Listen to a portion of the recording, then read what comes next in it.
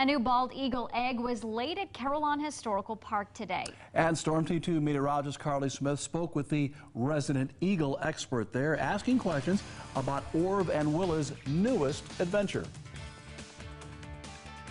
It's that time of year where if you're walking around at Carillon Historical Park, you will also maybe want to take a look up. They uh, have been right on schedule as far as going to the nest, adding to it, making it larger, and getting to a point now where they're actually in the process, or she's actually in the process of laying the eggs, we hope.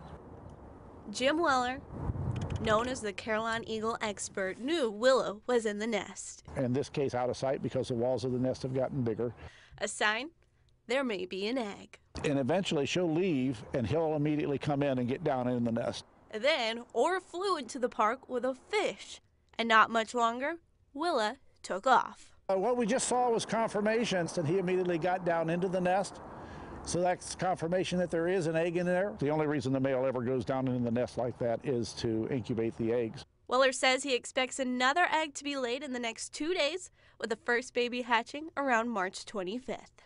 I've been really impressed that they've been right on schedule with everything they've done. Uh, they've been very tender with each other, uh, stand side by side a lot. Uh, in fact, the other day she flew in and knocked him off the branch. She was so close to him. So, uh, but that's what you want to see. You want to see that bond. For Storm Team 2, I'm meteorologist Carly Smith.